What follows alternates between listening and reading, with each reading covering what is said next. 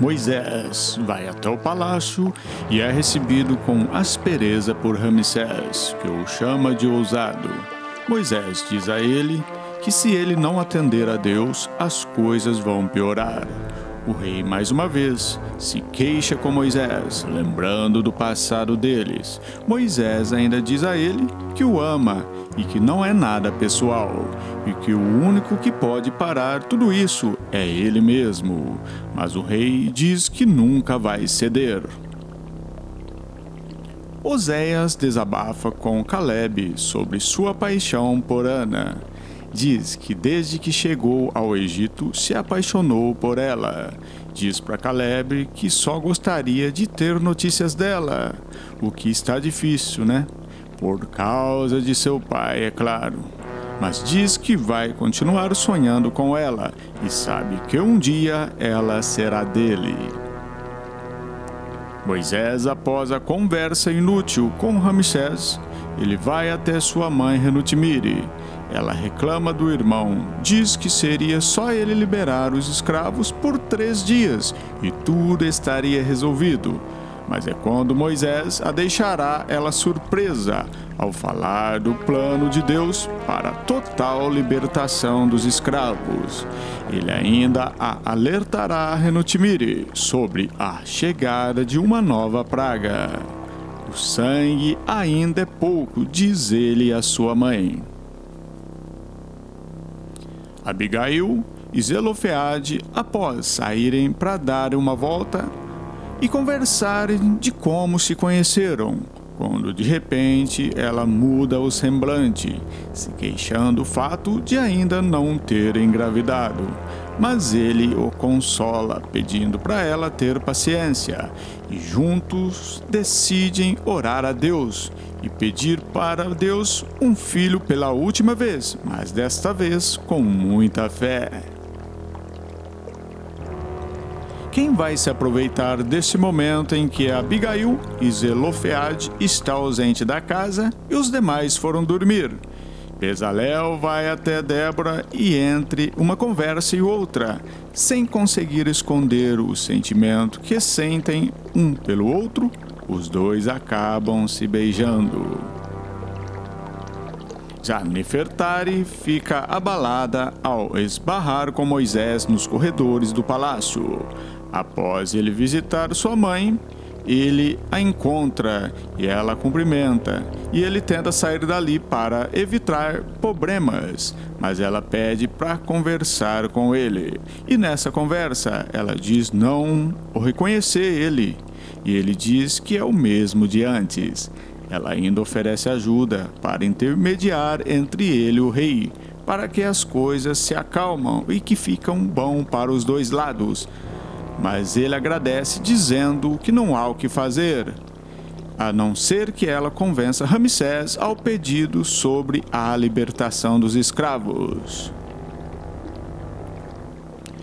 Bezalel e Deborah, após o beijo ardente, ficam apavorados, dizendo que não deveriam ter feito isso. E é quando chegam os tios dela e percebem algo no ar. Mas ela desconversa e sai de cena.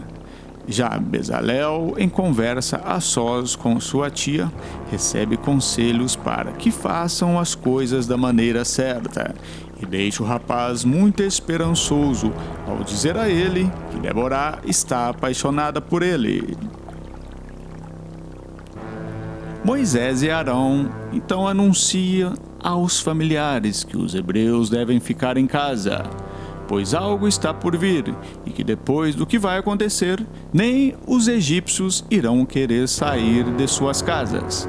Na sequência, se despede e vão, e dão início à segunda praga. E o Egito todo é invadido por Hans. Antes de continuar, quero lhe pedir algumas coisas bem rapidinho. Assista um resumo no Capricho. Ah, analise e deixe sua opinião.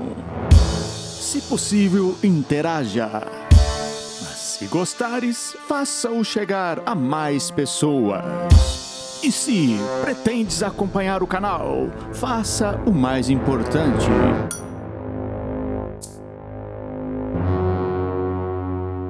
Se sentindo culpado, Mequetre lembra de momentos com Karen, quando ela falava para ele ao menos conhecer o filho dele. E após a insistência dela, ele diz ter dúvida em ser o pai, e deixando ela completamente triste e ofendida. Já na sequência, as rãs começam a invadir o palácio e o povo entra em desespero. Enquanto Ramsés conversa com o general, Pazer entra desesperado, avisando sobre a invasão das rãs. Ramsés fica furioso e quem quer se dar bem diante do rei neste momento é os magos, que mais uma vez tentam com suas fraucatuas. Eles simplesmente fazem aparecer os rãs de seus baldes. Mas ao ter o pedido do rei sobre agora consumir com todas as rãs, claro que eles não conseguem, né? E novamente são ridicularizados pelo rei. Moisés explica para sua família o que Deus falou com ele após ouvi-lo sobre o retorno das águas potáveis no Nilo. Ele conta com detalhes sobre os planos de Deus, na sequência, e o porquê de Hans na segunda praga. Em conversa com Abigail, Mequetre se recusa a assumir Baque como seu filho e pede para ela não insistir mais neste assunto. Ele diz que tem esposa e filhos e quer deixar tudo como está. Mas ela insiste dizendo que Baque quer saber quem é o pai, mas ele permanece com o coração endurecido. E em meio a multidões de rãs, Moisés e Arão entram no palácio para conversar mais uma vez com o rei, dessa vez a pedido dele. Ramsés então garante para Moisés que, se o Deus dos Hebreus acabar com a praga das rãs, ele libertará o povo hebreus.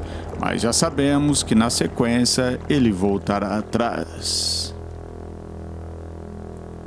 Bezalel, após conversar com Débora, agora na frente dos familiares na mesa, ele aproveita o momento e pede a mão de Débora em casamento. Mas Aoliabe se revolta por não ter sido consultado antes, por ele ser irmão de Deborah. Após as rãs sumirem, Ramsés volta atrás na promessa e manda o general avisar Moisés que ninguém sairá do Egito. Enquanto isso, Pazer e Simut demonstra preocupação com o que pode acontecer agora com essa atitude do faraó. E então Arão dá início à terceira praga. Ao ser mais uma vez indagado pelo povo hebreu, Moisés comunica a eles sobre a decisão do Faraó, que deixa todos indignados, e os avisa sobre o início de uma terceira praga. E alguns hebreus riem e comemoram ao saber que dessa vez são eles os chamados de pioentos, mas são repreendidos por Joquebede e Miriam. Em cena emocionante, Deborah vai conversar com seu irmão. Diz que o casamento é um momento muito especial e que ela quer compartilhar com ele. E então chegam a um acordo.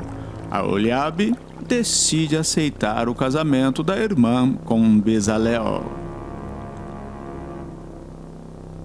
Com saudade, Moisés se lembra de momentos com sua esposa Zípora.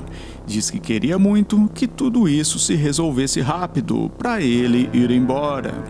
Joquebed, sua mãe, cita seu casamento com Arão como uma grande experiência de amor e diz que com certeza sua esposa Zípora está sendo bem cuidada e ele concorda com sua mãe. Na sequência, então, Aoliabe se desculpa com Bezalel e autoriza que ele se case com Deborah. em um discurso emocionante na mesa diante dos familiares, para a alegria de Deborah e todos os demais presentes.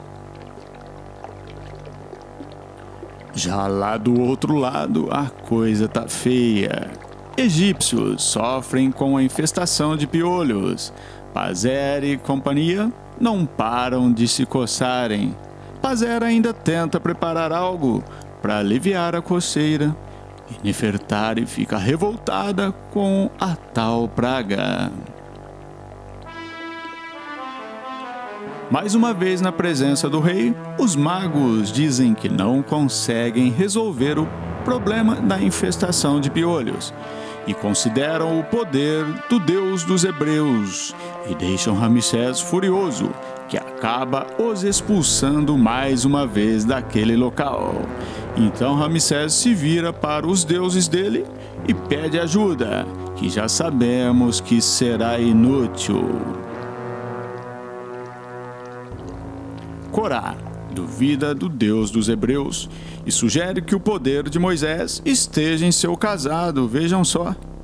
Em conversa com Unity, após encontrá-la ela se coçando e brigando com os deuses dela, ele sorri dela. E é quando ele vê um egípcio com um cajado na mão e levanta uma tese que o poder de Moisés está no cajado. E Unity então manda ele investigar isso e mesmo com muitas dificuldades. Moisés e Osés, em uma conversa, demonstram confiança em Deus.